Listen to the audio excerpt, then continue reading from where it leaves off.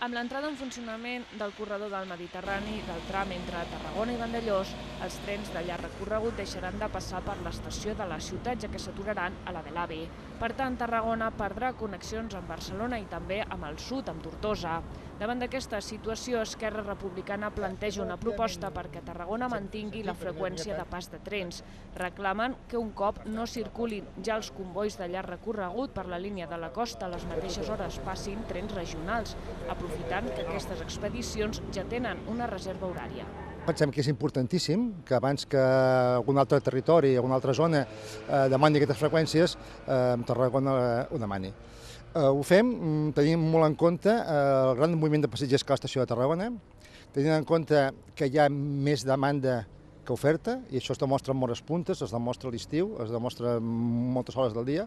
Des de l'equip de govern de Tarragona agraeixen la proposta d'Esquerra, però consideren que per decidir el futur ferroviari de la ciutat cal diàleg i consens de totes les formacions i sectors implicats.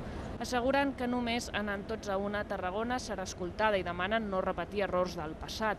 L'objectiu ha de ser, asseguren, que l'estació de la ciutat no perdi prestacions. És molt d'agrair totes les aportacions, però el que crec és que, és que hauríem d'evitar que hi hagin, eh, per, que, es, que es, es polititzi les propostes del territori. Crec que tenim una gran oportunitat històrica en anar a una, que això significa no presentar mocions unilaterals, sinó treballar amb taules de consens a nivell polític i a nivell de partits.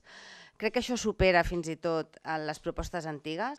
Una petició que els republicans plantejaran al proper plenari de Tarragona, que es celebrarà divendres de la setmana vinent. El primer de tot és que